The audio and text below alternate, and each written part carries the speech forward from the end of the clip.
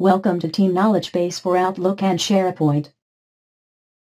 In this video demonstration, we will explore how administrator can configure multiple knowledge base SharePoint lists, perform mapping between Outlook and SharePoint fields, and deploy the settings to multiple users and systems in the organization. First you need to install the admin portion of Team Knowledge Base add-in. Installation is very simple, just some few clicks.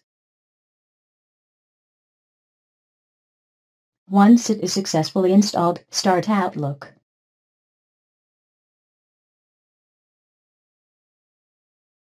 The first step is to specify a SharePoint site under which the team configuration and settings data will be stored. Just enter the SharePoint site URL. And the credential, if it asks for it.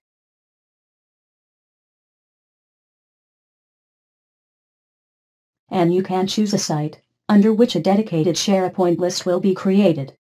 This dedicated SharePoint list will have the title Team KB Settings and will act as a KB data source for storing fields mappings, drop-down lists for categories and types, and other KB configurations.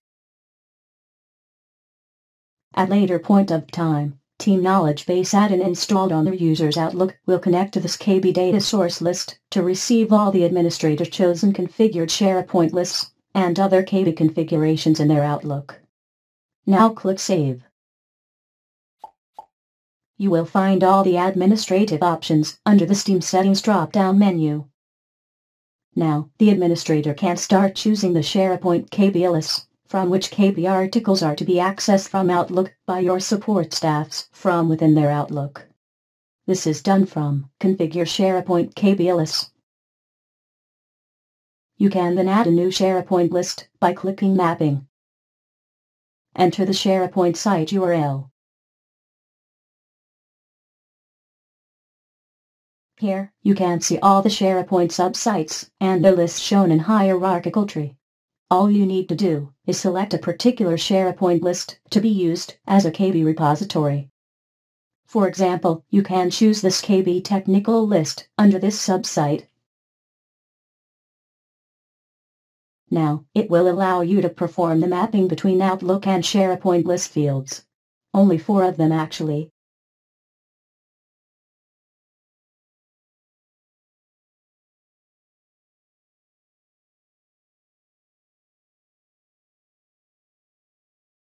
Let us save the mapping.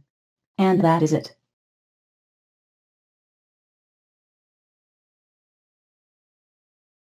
As an administrator, you can choose and configure any number of SharePoint KB lists and their distinct mapping settings based on your team requirements.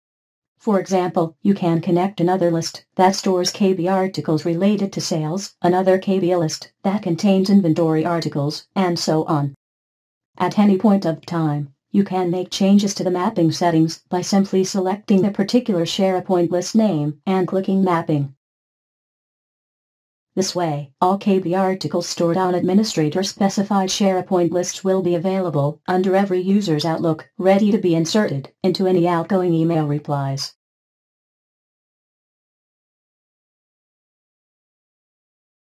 This way, all KB articles stored on administrator-specified SharePoint lists will be available under every user's Outlook, ready to be inserted into any outgoing email replies.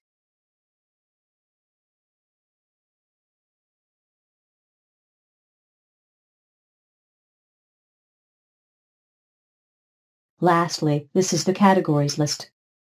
Here, you can compile a list of categories and subtypes and using these categories, you can group and tag KB articles in your SharePoint lists for better presentation and easy retrieval.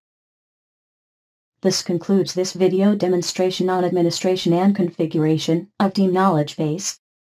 Don't forget to watch the second part of this video demonstration on how to choose and use one of the relevant KB article to reply to outgoing emails in Outlook.